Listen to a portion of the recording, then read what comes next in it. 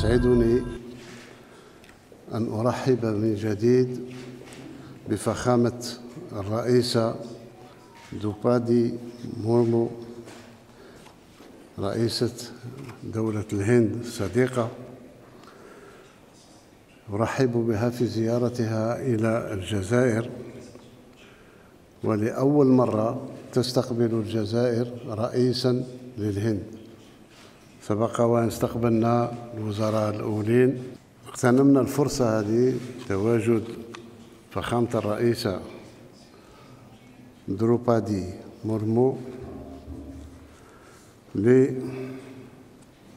أجرينا مباحثات مكثفة تناولنا خلالها التعاون الثنائي وآفاق تطويره من جهة وتطرقنا من جهة أخرى إلى قضايا إقليمية ودولية راهنة. ففيما يخص التعاون الثنائي اتفقنا على ترقية على المستوى الاقتصادي وتشجيع الاستثمار والتبادل التجاري. وفي هذا السياق سيتم في أقرب وقت البدء في التحضير إلى عقد الدورة المقبلة لكل من اللجنة المشتركة للتعاون وآلية تشاور سياسي بما يخدم جهود دعم العلاقات وتعميق الشراكة الثنائية طبعا لا سيما من خلال لقاء رجال الأعمال من البلدين وتعزيز أطر التعاون بإثراء الإطار القانوني والتنسيق والتشاور.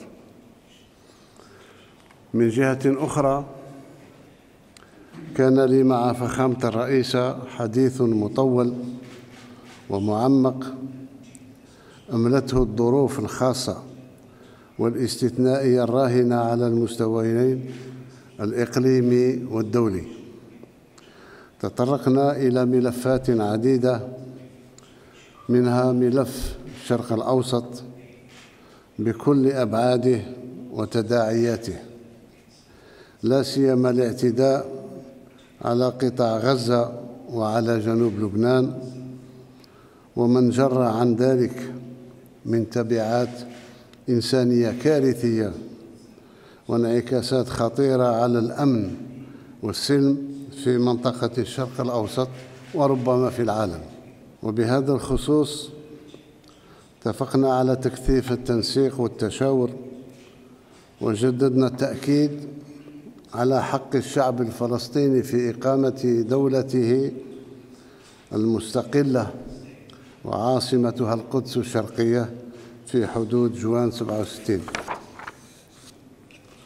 وفيما يتعلق بالوضع في أوكرانيا كذلك أكدنا على أهمية الاحتكام إلى القانون الدولي والتمسك بأهداف ومبادئ وميثاق الأمم المتحدة. فيما يخص منطقتنا اتفقنا على أن نتابع معا مخرجات مجلس الأمن فيما يخص قضية الصحراء الغربية.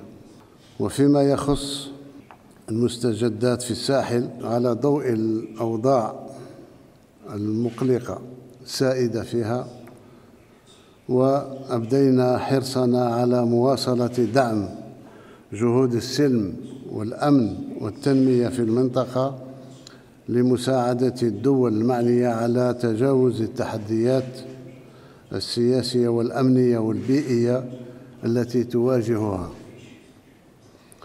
وفي كل من هذه الملفات سجلنا تطابقا في وجهات النظر واتفقنا على مواصلة الجهود المشتركة للمساهمة في استتباب الأمن والاستقرار سواء في هذه المنطقة أو في مختلف مناطق العالم التي تشهد أزمات تشكل تهديدا للسلم والأمن الدوليين فخامة الرئيس لقد أسعدني لقاءكم وتذكرنا معا التاريخ المشترك ومساندة ومساعدة دولة الهند آنذاك في الحصول على العضوية. في مؤتمر بوندونغ عدم الانحياز في 1955 كما شكرت لفخامة الرئيسة ولن نقف عن عن شكر الهند لما سمحت لنا به في 1959 بفتح مكتب في نيودلهي للحكومة المؤقتة للجمهورية الجزائرية آنذاك. كذلك من ربما الاستثنائيات الدبلوماسية في العالم. جمهورية الهند أقامت علاقات دبلوماسية مع الجزائر قبل إعلان استقلال الجزائر في 5 جويلية 1962 العلاقات الدبلوماسية بدأت في جوا يعني أسابيع وأيام قبل إعلان الاستقلال. ولا يخفى على أحد أن ربما مررنا بمرحلة فتور ولكن سنسترجع تشاور مثل ما كان بيننا كدولتين فاعلتين في حركة عدم الانحياز. وأشكر مرة أخرى. السيدة فخامة الرئيسة على تشريفنا بزيارتها هي والوفد المرافق لها وشكرا नमस्कार मैं राष्ट्रपति देवन के स्वागत और भव्य आतिथ्य के लिए إنه لشرف كبير لي أن أقوم بهذه الزيارة الأولى إلى الجزائر. هذه الزيارة الأولى مميزة للغاية وتأتي بالتزامن مع بداية العهدة الثانية للرئيس تبون. يرافقني الكاتب الخاص وأعضاء في البرلمان كما يرافقني وفد من رجال الأعمال. إنه يوم تاريخي في العلاقات بين البلدين. أهنئ الرئيس تبون على إعادة انتخابه. رؤيته للجزائر المنفتحة حقا رائعة. الهند والجزائر يجمعهما تاريخ مشترك من النضال ضد الاستعمار. لدينا الطموح لتحقيق الرخاء لشعبينا اليوم أجريت محادثات واسعة مع الرئيس تبون. أود أن أطمئن السيد الرئيس بأننا ملتزمون برفع علاقاتنا إلى مستوى عال للغاية مع التركيز على الاستثمار.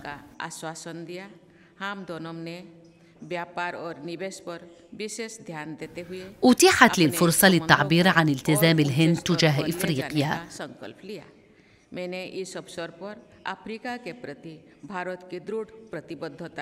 المنتدى الاقتصادي المقرر اليوم سيقوم بمراجعة مشاريعنا المشتركة وسيحدد عدة مبادرات لتوجيه تعاوننا الاقتصادي والتجاري نحو مسار جديد.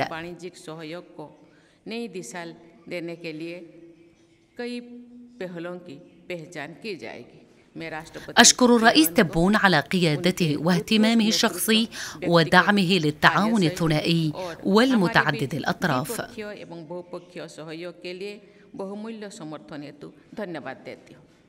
धन्यवाद